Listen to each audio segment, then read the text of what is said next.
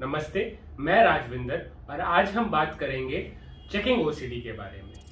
Checking OCD जैसे कि दूसरी ओसीडीज भी होती है, उसमें होते हैं intrusive thoughts unwanted repetitive thoughts वो विचार जो आपके दिमाग में आते रहते हैं, जब आपको नहीं चाहिए तो भी। उन थॉट से होती है एंजाइटी और एंजाइटी को दबाने के लिए आप करते हैं कंपल्शन तो ये है ओसीडी की साइकिल चेकिंग ओसीडी में इंसान को ये विचार आते हैं कि अगर वो कोई चेकिंग रिचुअल या चेकिंग मेथड ना करे तो उनके साथ या उनके परिवार वालों के साथ कुछ बुरा हो जाएगा या बुरा हो चुका है। फॉर एग्ज़ाम्पल जैसे रिलीजियस चेकिंग ओसीडी में लोग सोचते हैं कि अगर मैं इतनी बार भगवान का नाम ना लू, या मुझे इतनी बार या मैं भगवान को इतनी बार टच ना करूँ उनकी फ़ोटो को तो उनको ये विचार आने लगते हैं कि मेरी फैमिली वालों को या मुझे कुछ खराब हो जाएगा। से मन्नत वाला उनको होता है कि मन में कुछ आया तो वो मन्नत हो गई और उसे करना ही पड़ेगा। कि दिमाग में आ गया कि हज़ार बार भगवान का नाम लो तो वो करना ही पड़ेगा। और उसकी वजह से होती है एंजाइटी और उसको दबाने के लिए वो लोग करते हैं कंपल्शन जैसे जो मेडिकल हेल्थ ओसीडी वालों को दिमाग में ये विचार आता रहता है कि क्या मुझे कैंसर हो गया है, क्या मुझे एड्स हो गया है? और वो घंटों बैठ के गूगल पे चेक करते रहते हैं या दूसरों से पूछते हैं कि आपको लगता है कि मुझे कैंसर हो गया है या एड्स हो गया है?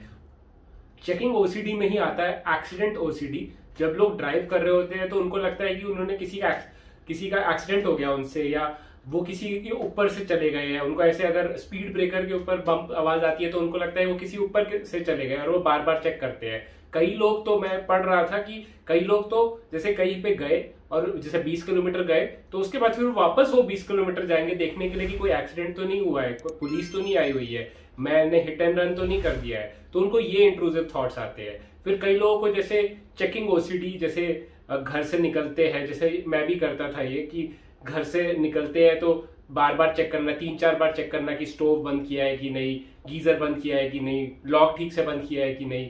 और अगर नहीं बंद किया तो दिमाग में ये विचार आता था कि मेरे घर में चोरी हो जाएगी, या सब लोग मुझे बुद्धू बोलेंगे कि अरे तो ठीक से लॉक भी नहीं कर सकता। तो ये सब विचार आते हैं इसमें। उसके बाद कई लोग जैसे सोचते हैं कि उन्होंने दो दिन पहले जब किसी से बात करी थी तो गलती से उन्होंने किसी को गाली दे दी। तो वो चेक करने लगते हैं कि क्या मैंने गाली दी थी? क्या वो कॉन्वर्सेशन क्या हुआ था? उसके बाद मिस्टेक ओसीडी भी होती है चेकिंग में ही कि उनको लगता है कि आ, मैंने कुछ जो लिखा था या मैंने जो ईमेल लिखा है अपने बॉस को वो बार बार बार बार सौ दस दस पंद्रह पंद्रह बार चेक करते हैं कि उसमें कोई गलती तो नहीं है। और जब वो भेज भी देते हैं तब भी उनको लगता है कि अरे उसमें कोई गलती तो नहीं है मैं ईमेल वापस रिकॉल कर लू। तो ये मिस्टेक ओसीडी जो हो जाती है। उसके बाद उनको ये लगता है कि मैंने कुछ किसी के बारे में गाली तो नहीं लिख दी मैंने मैं एक मैंने एग्ज़ाम्पल पढ़ा था।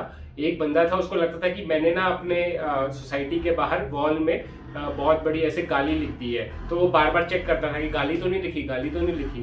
तो, तो ये थे चेकिंग ऑब्सेसिव थॉट्स इन थॉट्स की वजह से होती है एंजाइटी और एंजाइटी को दबाने के लिए करते हैं कंपल्शन ज़्यादातर एक तो चेकिंग कंपल्शन करते हैं बार बार चेक करना। सेकंड है मेंटल रिचुअल टाइप्स या वो करते हैं कि फॉर एग्जांपल काउंटिंग करने लगते हैं या तो वो अपने आप से ही मेंटल uh, रिव्यू करने लगते हैं कि मैंने उस टाइम क्या किया था मैंने uh, किसी को गाली तो नहीं दी मैंने uh, कोई मिस्टेक तो नहीं करी तो वो अपने मेंटली अपने आप को चेक करते रहते हैं मेंटल रिव्यू करते रहते हैं अपने आप को लॉजिक देते रहते हैं ठीक है? उसके बाद फिर अवॉइडेंस भी देखा गया है कि वो लोग जाते ही नहीं है। अगर किसी को रिलीजियस ओसीडी है जिसको भगवान को देख के सौ सौ बार भगवान का नाम लेने का उनको वो मन करता है तो फिर वो मंदिर ही जाना बंद कर देते हैं तो अवॉइडेंस हो जाता है। लोगों से वो रीअश्योरेंस मांगते हैं कि मैंने कोई गलती तो नहीं करी ये ईमेल मैंने भेजा था वो सही था ना?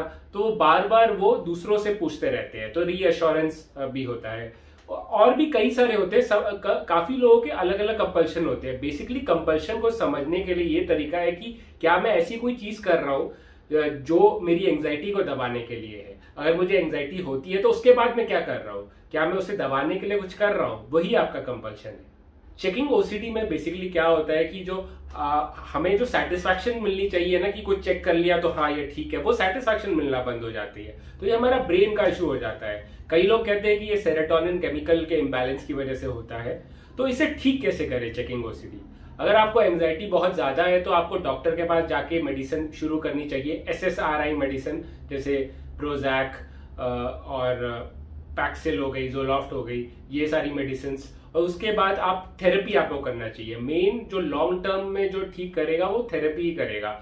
ERP therapy exposure response prevention act therapy acceptance and commitment therapy और साथ में सीबीटी का जो बिलीफ डिस्प्यूटिंग है हमें अब अपने बिलीफ भी चेंज करने होंगे, ये ये तीनों का कॉम्बिनेशन हमें करना होगा। तभी आपकी ओसीडी मैनेज होगी। तो ये थी चेकिंग ओसीडी के बारे में। चेकिंग ओसीडी को मैनेज किया जा सकता है, ये बाकी ओसीडी की तरह ही मैनेज होती है। चाहे कोई भी आपको ओसीडी हो, सबका जो इलाज है, एक ही है। ईआरपी एक्ट बिलीफ चेंज और साथ में मेडिसिन अगर आपकी एंग्जाइटी बहुत ज़्यादा है। Thank you for watching my video आपको कोई भी अगर क्वेरी है तो आप मुझसे पूछ सकते हैं कमेंट सेक्शन पे या मेरे इंस्टाग्राम और फेसबुक पे भी मुझे मैसेज कर सकते हैं। मैं ज़रूर आंसर दूँगा। और लाइफ में चाहे कितनी भी इशू हो प्रॉब्लम हो कीप फाइटिंग